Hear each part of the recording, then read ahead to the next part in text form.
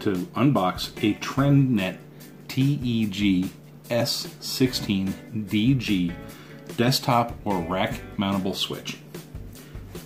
This switch has 16 gigabit Ethernet ports. It is an energy saving model, has the LED indicators that show connectivity, show the speed of the connectivity, that sort of thing. It has, look on the back side, maybe it'll show you here. It doesn't say. It does have an integrated power supply, which means you're not going to have that stupid wall block uh, transformer that's always getting in the way, blocking plugs, that sort of thing. So, without further further ado, let's go ahead and unbox this. This one is wrapped in plastic on the outside, so we're just gonna start a little hole. And clear our plastic.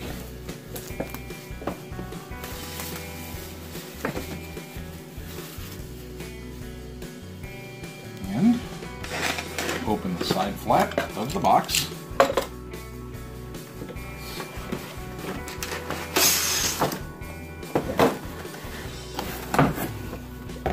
Okay, so what we have in the box is the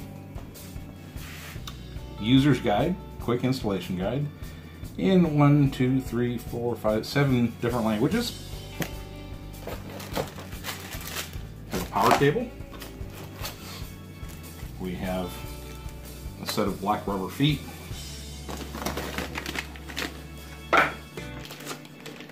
And we have the switch itself. This is not a full 19 inch rack mount switch, although it can be adapted.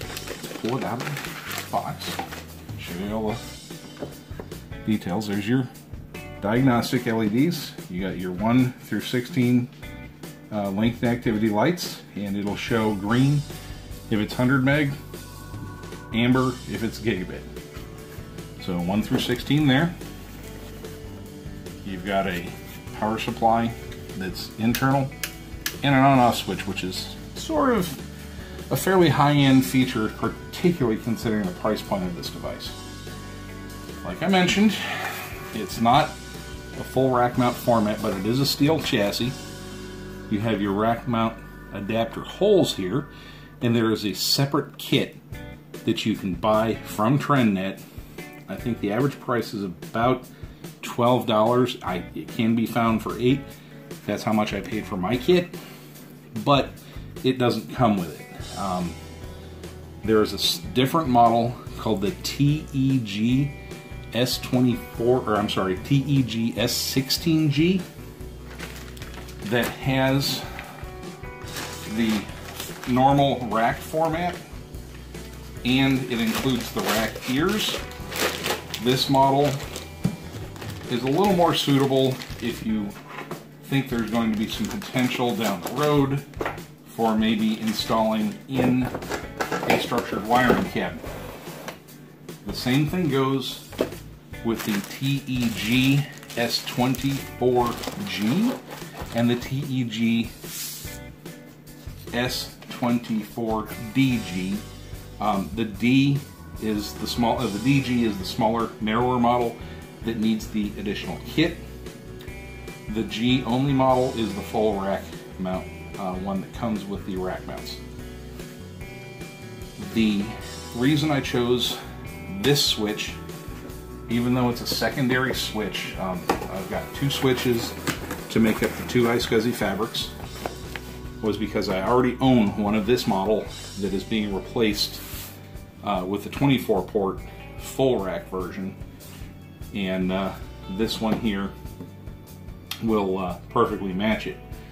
By the time you see this video, this particular variant is going to be unavailable. The uh, TrendNet has recently released a version 2.0. The firmware is slightly different, and I believe it lacks that green band across the top of the chassis. That's really the only differences I can see. This switch along with, from what I can tell, all of the other TEG series switches uh, allow you full jumbo frame support, which is something a little unusual in a low cost switch. Plus, these include lifetime warranty. So they're a great buy. They're very reliable. Performance has been fantastic on the ones that I've used. We have implemented them with uh, client organizations and uh, have never had a single problem with them as long as you're not needing a uh, layer 2 uh, managed type switch or a layer 3 switch. Um, this is a completely unmanaged switch. It's just plug and play. Uh, you're not going to get VLANs or anything like that. But if you're buying this kind of product, chances are you're not looking for VLANs. So that's it. That's our unboxing of the TrendNet TEG S16DG. Thanks for watching.